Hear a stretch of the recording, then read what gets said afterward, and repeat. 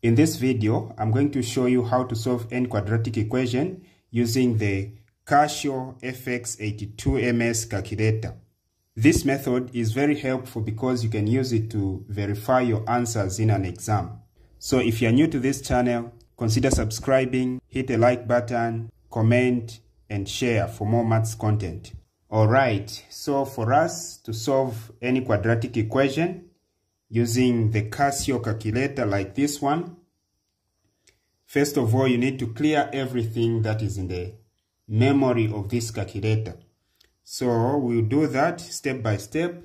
So first of all, press shift, then mod, then click 3. After pressing 3, then click equal sign twice. 1, 2. Okay, so again, press shift, mod. So in the first place, we pressed 3. So let's also clear the mod here. So we press 2. So you also press an equal sign twice. 1, 2. Again, let's press shift, mod, then 1 and equal sign twice. Alright, so everything that was in the memory of this calculator has been cleared. Alright, so now we'll go on mode. So press mode. then click 3, rig, rig, regression, click 3. Okay, 3. So after cl clicking 3, you come to this right key here. Press the, the right key uh, like this. Now you see that after pressing the right key, you have these options. So you have one, two, three. On number three, you have quad. Okay, quad means quadratic. Okay, so you press three because quadratic is only number three. So you press three. So meaning you have now changed the mode of this calculator. This calculator is in, in quadratic. Okay, so now this is what you are going to do. You are going to feed this calculator this information that is in this quadratic equation.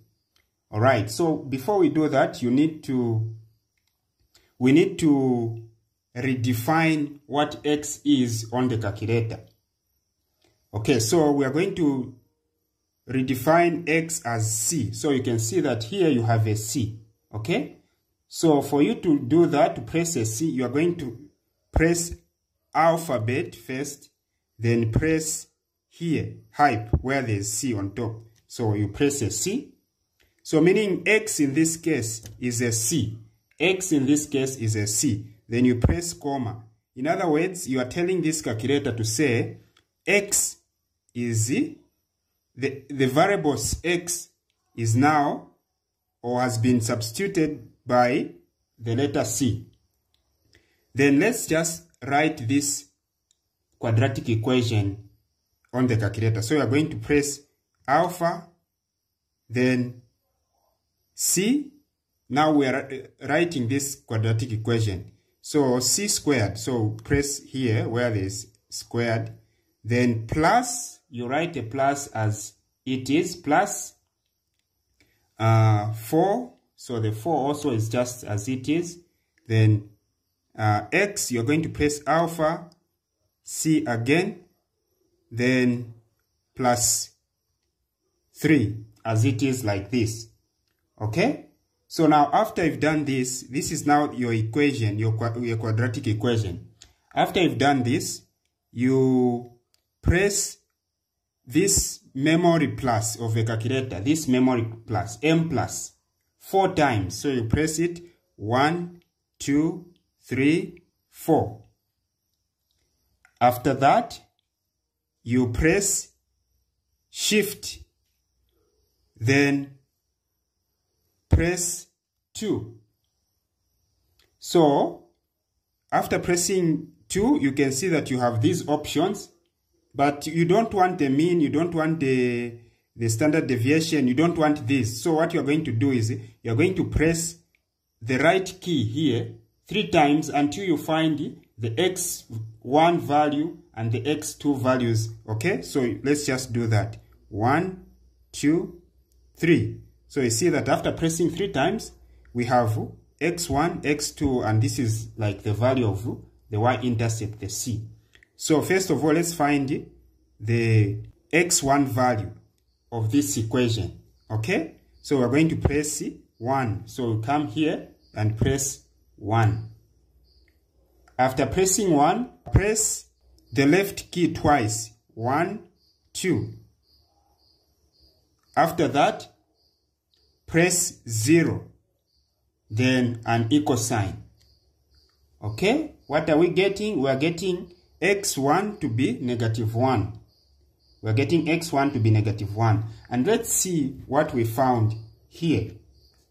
Here we found that the x, one of the x values is negative 1. Okay? So which is this one that we have found here. Alright. Now, for us to find the x2 value, we are going to press shift again, then a 2.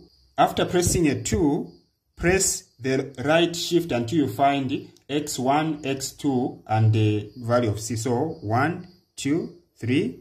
So you can see that we have x1, x2, and the value of c, the y-intercept. So we are going, in the first place, we picked this one. But in the second place now, we are picking the x2. So click on 2. So click on 2 here. And then also 2 times the left key and then press the zero and then press the equal sign and then this is the value of x2 that we are finding. Now let's see how what did we find as, as the x2 value? This is negative 3 okay so this and this are matching.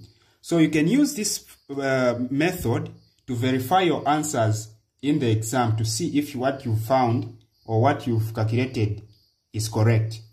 Thank you very much. If you want to learn how to solve quadratic equations using the completing square method, just click on the video that is showing on the screen right now. Goodbye.